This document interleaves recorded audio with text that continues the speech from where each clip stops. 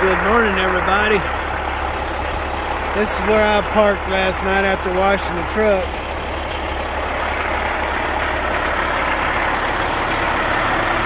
Not the cleanest, but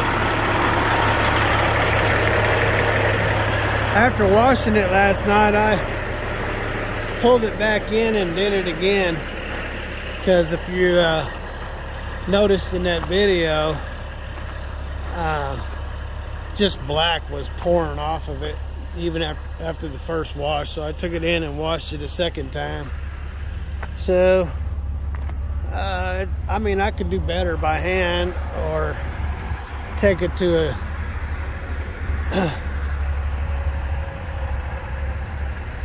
checking that wire in there or take it to uh,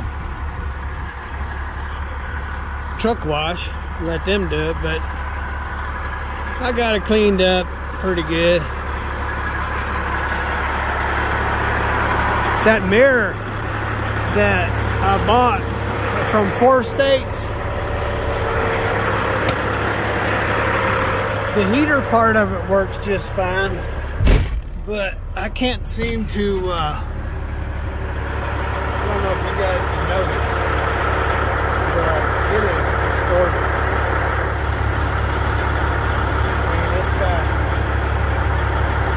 You're driving down the road, uh, the trucks are crunched up the size of cars. it's, it's really distorted. And I've tried to straighten it out. It looks pretty good there. Uh, I got it straightened out where it looks pretty close.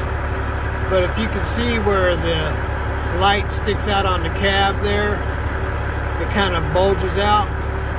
Yeah, that's a distortion there's another one down on the bottom. And so,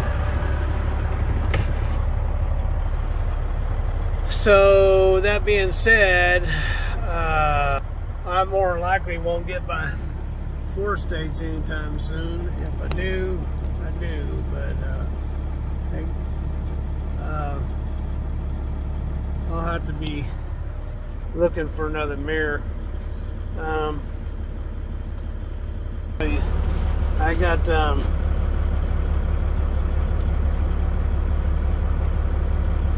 Thirteen hours and forty-nine minutes, and I got about sixteen hours of driving time left. So I'm going to be uh, come up a little short as far as time to get me there, and uh, which is the bummer.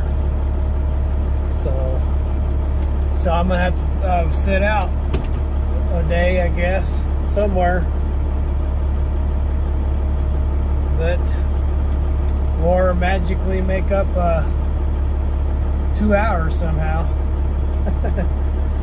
anyway, oh well.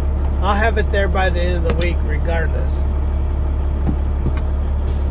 You guys want to roll along? We're in Roscoe, by the way. Roscoe, Nebraska.